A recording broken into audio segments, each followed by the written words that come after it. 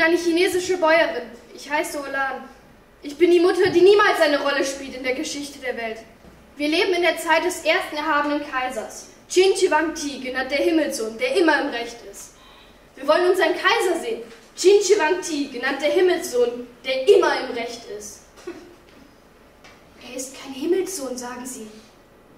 Hast du das Neueste gehört? Noch habe ich in Nanjing mit niemandem gesprochen. Minko? Minko, Stimme des Volkes, so heißen sie ihn.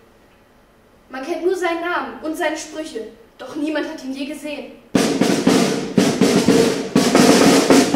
Völker unseres Reiches! Es lebt an diesem Tag nur noch ein letzter Widersacher, ein einziger Mann, der sich Stimme des Volkes nennt. Minko! In den hintersten Winkeln unseres Reiches werden wir ihn suchen und finden. Sein Kopf auf die Lanze! Und einem jeden, der seine Sprüche in den Mund nimmt, soll das Gleiche geschehen. Sein Kopf auf die Lanze!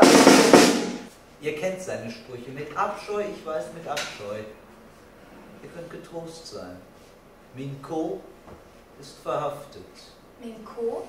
Ich halte gerecht. Bevor wir zur Tafel schreiten? Es wird uns nicht lange aufhalten. Ihr aber, meine Getreuen, rüstet das Fest. Es soll das Fest unseres Lebens werden. Man sorge für Musik, für klassische Musik. Und überhaupt an nichts soll es fehlen, was unseren fremden Gästen und uns selbst Eindruck macht. An nichts. Man sorge für Weihrauch und Theater, koste es, was es wolle. Für Feuerwerk und Kultur. Lang lebe Wang Ti, unser erster erhabener Kaiser, genannt der Himmelssohn, der immer im Recht ist. Er lebe!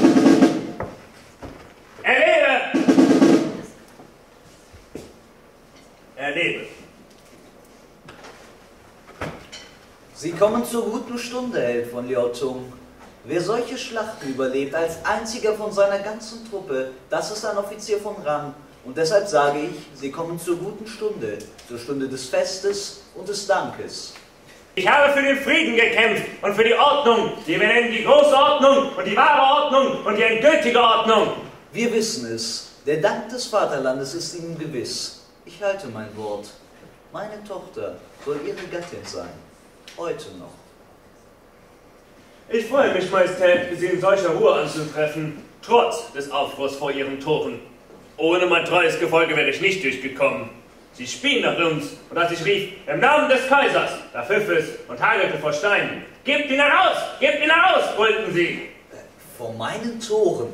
Neun meiner Getreuen habe ich verloren, ganz zu schweigen von meinem Pferd. Mit blankem Säbel mussten wir seine Gasse hauen. Sehen, Majestät, das Blut an meinen Stiefeln. Held von Jotung, ich begrüße Sie, Held von Jotung, als Schwiegersohn und Erbe meines Reiches, sofern Sie auch diese letzte Probe noch bestehen. Zu Befehl! Vor unseren Toren stehen die Elemente. Verstanden. Sie wissen, mein Prinz, was auf dem Spiele steht.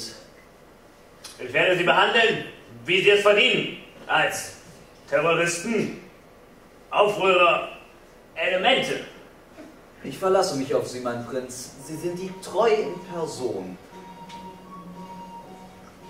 Sie kämpfen für ein Reich, das Ihnen heilig ist. Sie kämpfen für Ihre eigene Erbschaft. Ich hoffe, wir sehen uns bald bei Fest und Feuerwerk. So viel über die Lage in Nanjing.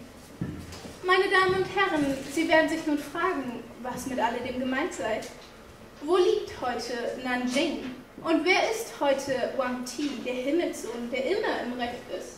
Und dieser arme Stumme, der nicht einmal Heil sagen kann? Und Wu Xiang, der General mit den blutigen Stiefeln und wie sie alle heißen mögen. Was ist mit alledem gemeint?